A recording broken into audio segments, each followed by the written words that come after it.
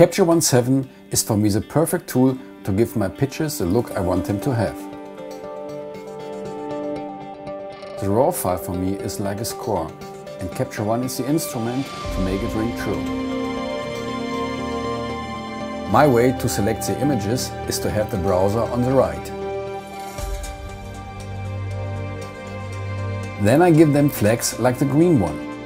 And if I choose in the filter box only to show me the green flagged images, I will see my chosen pictures only.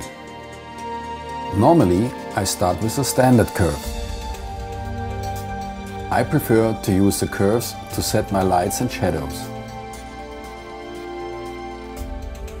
With the HDR tool, I correct highlights and shadows. To control my adjustment, I switched on highlight and shadow alarm. A little vignetting leads the viewer into the picture. I continue by selecting my lens correction. In this case, I use the Schneider Kreuznach 55mm lens. Very interesting in this case is the keystone correction tool. Although I don't use the technical camera, I can have a perfect perspectively corrected image. But in this picture I would like to keep the dynamics, therefore I only correct the horizontal lines. Finally I do some sharpness correction.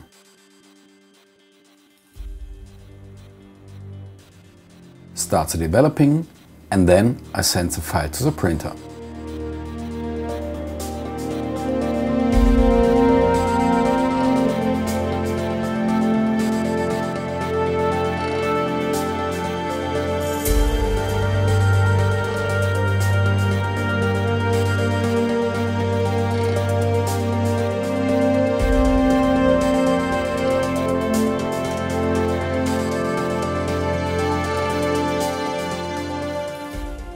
Look at this perfect details.